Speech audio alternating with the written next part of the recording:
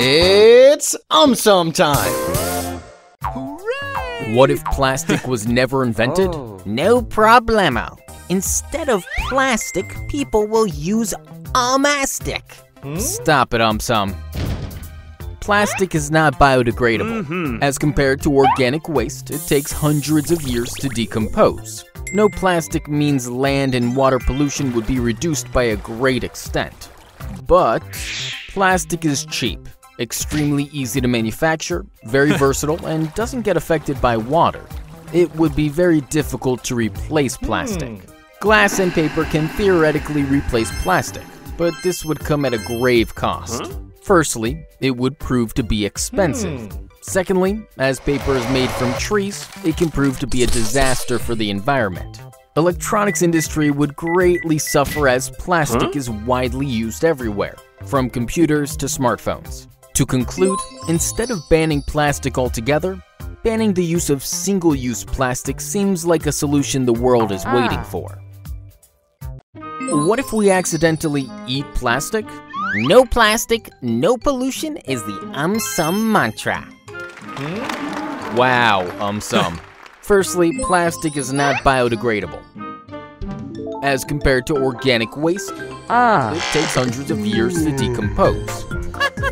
But if the quantity of swallowed plastic is small, then it will not be a problem. Hmm.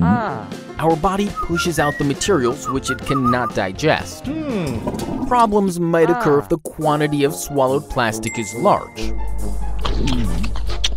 Our body will not be hmm. able to push it out. It will stay in our gut and might partially prevent further food digestion. In extreme cases, this may also prove to be fatal. Also, many plastics are chemical laden. These chemicals are commonly known as phthalates.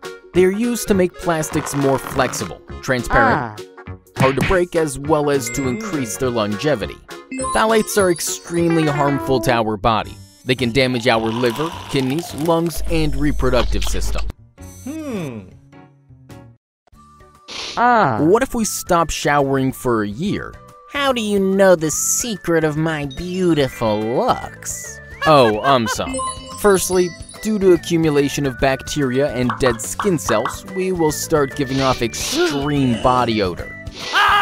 Eventually, our outer skin layer will become so thick that we will develop a skin condition called hyperkeratosis. Mhm. Dandruff will have a party every day, giving us an extremely itchy head.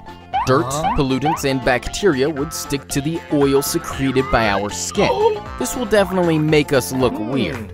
Lastly, sebum will get accumulated on our skin and clog our skin pores, leading to inflammation of hair follicles and eventually resulting in acne. On the flip side, some experts believe that we don't need to shower every day. Once in two to three days is enough. They believe that too much showering can remove helpful organisms which actually protect us from harmful germs. What if we stopped eating sugar? Then I would start licking honey. Ugh, listen, um, some. Sugar stimulates the release of feel-good chemicals like dopamine. Ah. So, sudden cutting down of sugar can cause sugar withdrawal, thus leading to anxiety, mood swings, etc. However, the most obvious benefits of avoiding sugar would be weight oh. loss, improved oral health, and reduced risk of diabetes. Secondly, sugar also triggers the process of glycation, in which harmful compounds called AGEs are released.